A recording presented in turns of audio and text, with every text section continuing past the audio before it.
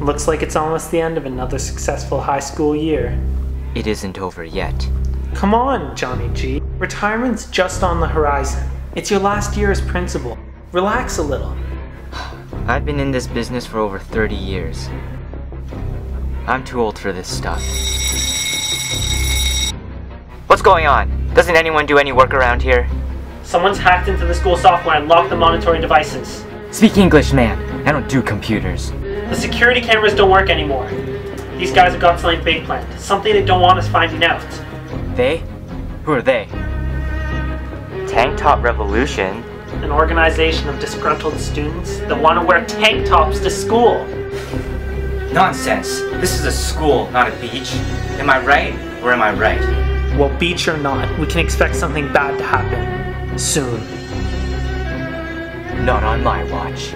If you're gonna take on these tank top guys, you're gonna need the right gear. Like a machete or a machine gun. No, we don't tolerate weapons at RHHS. No, I need to do this the old-fashioned way. How? They're hidden among us. There's no way to tell. There's always a start. We'll go from there. Get me the following information. Sure, I'll email it to you. Email. I am going to whack you. No, tell it to me in person.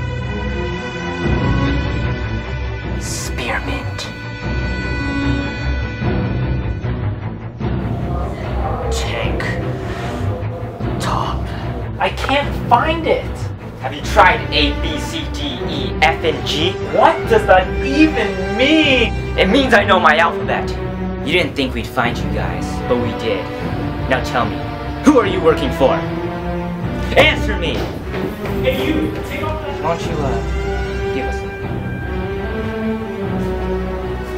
And don't let the door hit you on the way out.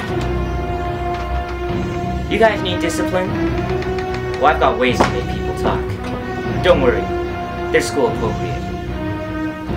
Now, which one of you is the stupidest?